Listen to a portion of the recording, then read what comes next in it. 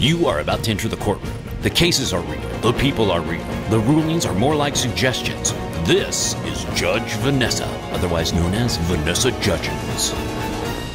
This is the plaintiff, Veronica Merrell Burriss. She says the defendant, Aaron Merrell Burriss, leaves the toilet seat up too regularly. She's seeking damages and emotional distress for falling in the toilet in the middle of the night. She says she's afraid of the toilet and is fearful to sit on it. And this is the defendant, Aaron Merrell Burriss. He has no idea why he is here. When asked about the complaint, he claimed it was not a big deal and the plaintiff is overreacting. She's here to prove him wrong. All rise for the Honorable Judge Nessa, aka Vanessa Judgens.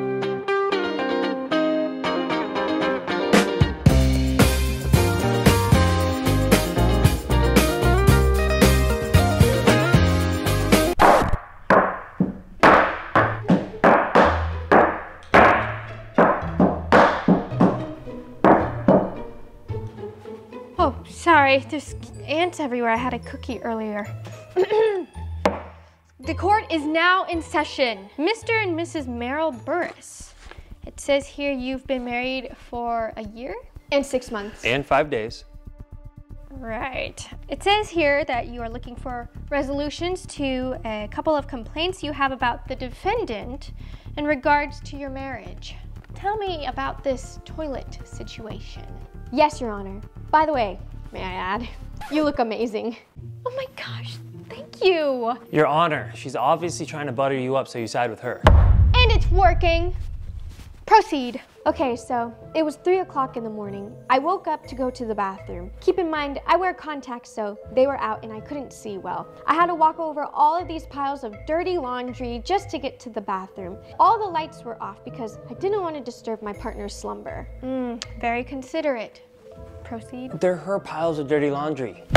Order! In my courtroom, I will be addressed as Your Honor.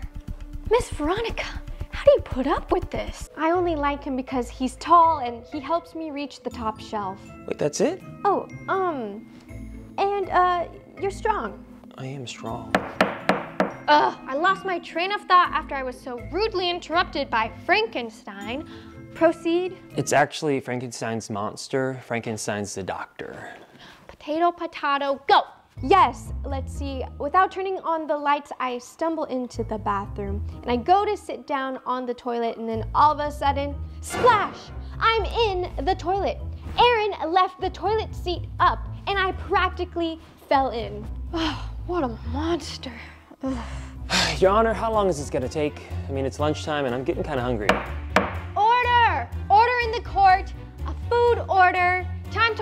Chicken nuggies. Um, let's see. Okay, Coke and fries. Ooh, a discount. Everyone, I need an order minimum of $40 to hit the discount. Bailiff, please hand this to everyone so they can order. Oh, hey, Ronnie, do you want anything? No, thank you. I'm not hungry. Aha! Your Honor, I have a counter complaint. I would like to call a witness to the stand. A waiter from our favorite restaurant. Mario?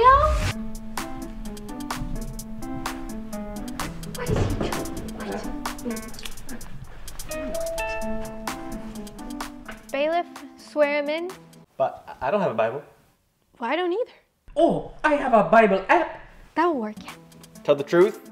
Don't not tell the truth. I do. Um, who are you? It's me, Mario. Okay, please share. Hello, Mario. Do you recognize this youngish lady over here? I do. It's Rani. And uh, Mario, do you recall what Miss Ronnie said on a date night about two weeks ago? Yes. I read the daily special. Mr. Aaron asked, Rani, are you hungry? And she said, No, I'm not. I will just have a drink. And then, And then when Mr. Aaron's food shows up, she proceeded to eat all of Mr. Aaron's food, even after I read the daily special. it's okay. I know it's tough to watch a man go hungry, especially after he trusted his wife when she said she wasn't hungry. If she's a little bit hungry, she should order her own food. I know, Mario. I know. Your Honor, no further questions? Thank you, Mario.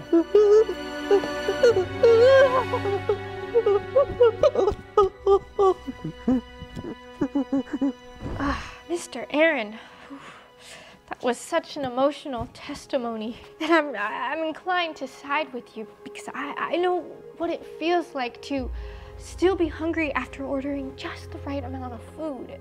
It's not a nice feeling, Your Honor. And I know this because just a moment ago, I was really hungry and I wanted to order some chicken nuggets. And so I passed the phone around for you to place your order. But what did you do instead? You told us a story about how you don't like sharing your food and you wasted all of our time. Fine. I'll go ahead and order. Okay, here. Um, there. I also want chicken nuggets. Ronnie, are you sure you're not hungry? Uh, not for a full meal. I'll just have a couple of yours. See? That's my point. I'm not wasting my time. If anyone loves wasting my time, it's my lovely wife. I literally have to tell her that we need to get to places 50 minutes early just so that we have a chance of getting there on time. I knew it. That's why I take so long. I don't like that you're being dishonest about the time it takes us to be somewhere. Well, I don't like being late. Well, I would have more time if you didn't spring up plans last minute. Last minute? I could literally tell you plans weeks ahead and we'd still be late. Oh, yeah? Name a single time that you did that. I can name every time because it's every time. Order! Finish placing the order. Can you get the phone, please? How? Thank you. Place order meet at door. Miss Veronica, is this true? Yes, it's true. We would have been late to this if I hadn't told you it started earlier than it did. I don't know how long it takes me to get ready. Always late. There- Every day is a All the different time. day. I, Every do I not day. change my outfit I because change I don't all the like clocks. the one that I'm wearing? You Nothing know, works. Sometimes Nothing works. yet. Always Enough. late. Was I talking to you, Mr. Aaron? No, And did Miss Veronica interrupt your testimony? no. So, I, I just don't like being late. besides, I'm well aware of how late she tends to be. We were late to school every single day. I'm sorry, Your Honor. At breakfast in the cafeteria, they would serve these little fruit cups, and I loved those fruit cups. But guess who rarely got her fruit cups because we were always late? Sometimes it was Dad's fault. Don't interrupt me, and yes, sometimes it was his fault. Hey, Regardless, I didn't get my fruit cup. Aaron snores when he sleeps. He what? Aaron snores, and I can't sleep. But objection, how am I supposed to know if I snore at night? I have proof. I call to the stand my witness, Guppy the pug.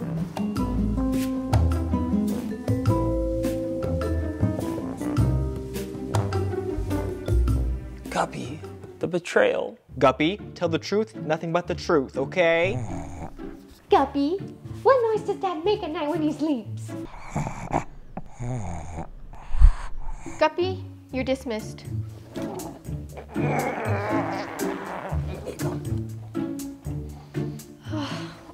I'm still so confused. I think I need more evidence. Hey, what's in that evidence docket thing? It's the same evidence that you have up there. Okay, can you present the evidence, please? It's okay. We don't. We don't have to. It's it's the same. Here you go.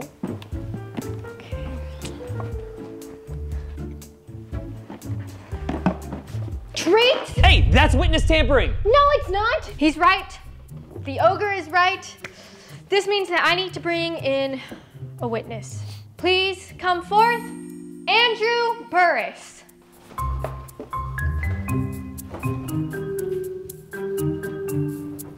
I can't believe you call me an ogre.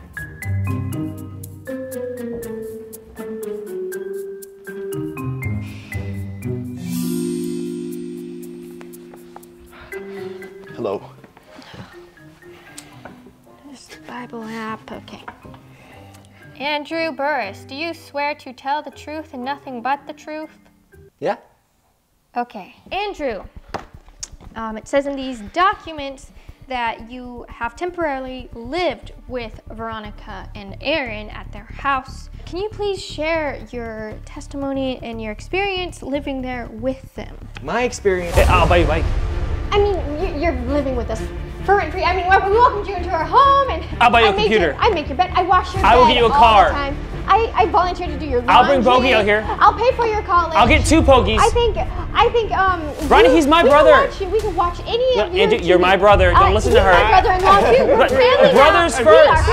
Brothers Andrew, first. Andrew, um, I will get you a Andrew, girlfriend. Andrew. Andrew is. He's my brother. He's my brother. He looks like me. He doesn't look like you. He looks like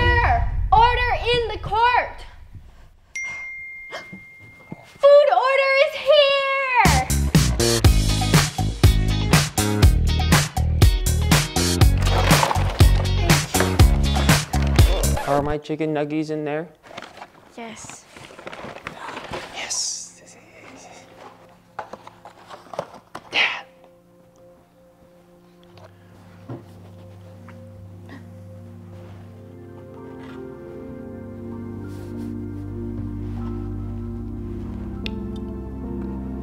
These chicken nuggets taste really, really weird.